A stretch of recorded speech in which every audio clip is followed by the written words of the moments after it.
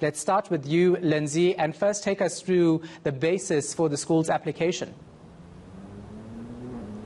So, Shahan, uh, as you've mentioned there, the school saying that they cannot guarantee the safety uh, of their staff and their pupils, and more importantly, to protect the matriculants from um, conducting their exams without any interference. And so they've approached the court uh, to stop the protest in the immediate vicinity of the school. They've outlined a triangle um, of streets around the, uh, the, perimeter of the school. Um, but the court saying this afternoon that um, the, the, school really doesn't have the right uh, to to dictate where people protest. Uh, the advocate for the school saying that it didn't want to stop the protest, it wasn't in any way trying to prohibit the EFF from protesting, uh, but that it suggested that rather that protest be held elsewhere, for example, at the civic centre in the area. So that's really at the basis of the application that they've um, brought to court saying, given the violence that erupted on Monday, they didn't have uh, the kind of security necessary and that the police only uh, was standing by and did nothing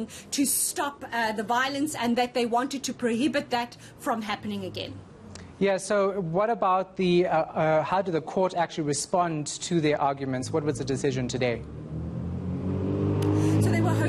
Urgent interdict to stop the protesting from happening immediately, um, but unfortunately, uh, the court finding that uh, that the application was rather broad, and as I say, they don't immediately have the right uh, to um, uh, demand where people uh, protest, uh, and so the court also saying that it was people's fundamental right to protest, is particularly if it was also a matter based on racism, and so to allow the EFF more time to oppose the application. Uh, the court has allowed uh, them time to file those papers by Friday, and so the matter will only return to court on Monday.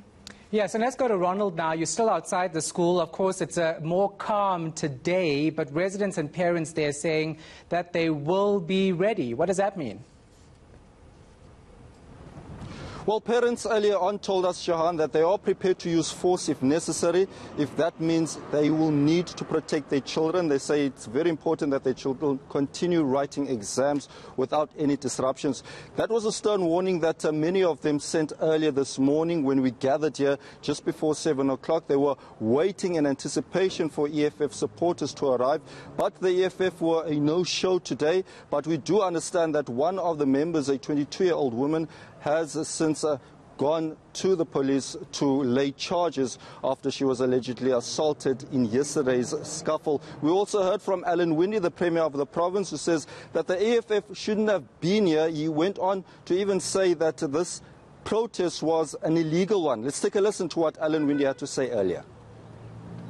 As citizens of this province, if we have an issue, we need to sit down and talk about it. We need to deal with it as adults uh, and specifically because our matrics in a very difficult year are trying to get their final exams done.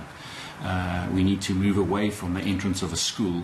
Uh, we need to get around the table to sort these things out. We must make sure that we give the youth uh, of our province their opportunity in a difficult year to finish their exams. Please don't resort to violence. Uh, I really call on citizens to be calm and to deal with these issues in a responsible manner. And Ronald, of course, we shouldn't sidetrack from the main issue at hand here, and that's allegations of racism.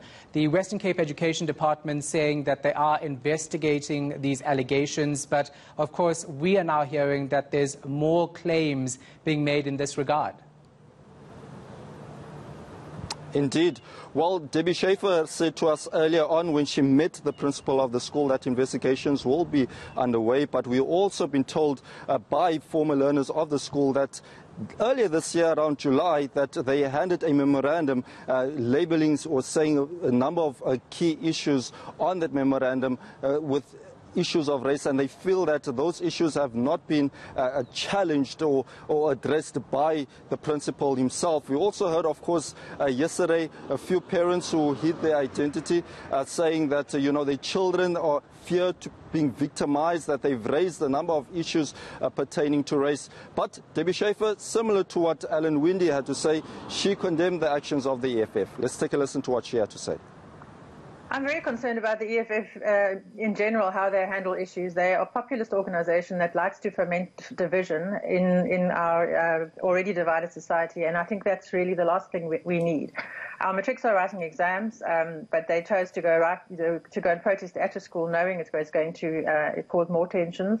And I, I don't know who started the violence, but it really is unacceptable to to try and resolve issues like that and to behave like that. Um, I also don't think that we should be really the, the, the, you can't just assume that it's, it's, it's, a racist incident in a situation like this when it was clear that they, I mean, they should get their facts together also first. And mm. if there are genuine incidents of racism, we are absolutely committed to addressing those issues and dealing with those issues. But I think this is the wrong issue, and it's certainly the wrong way to behave.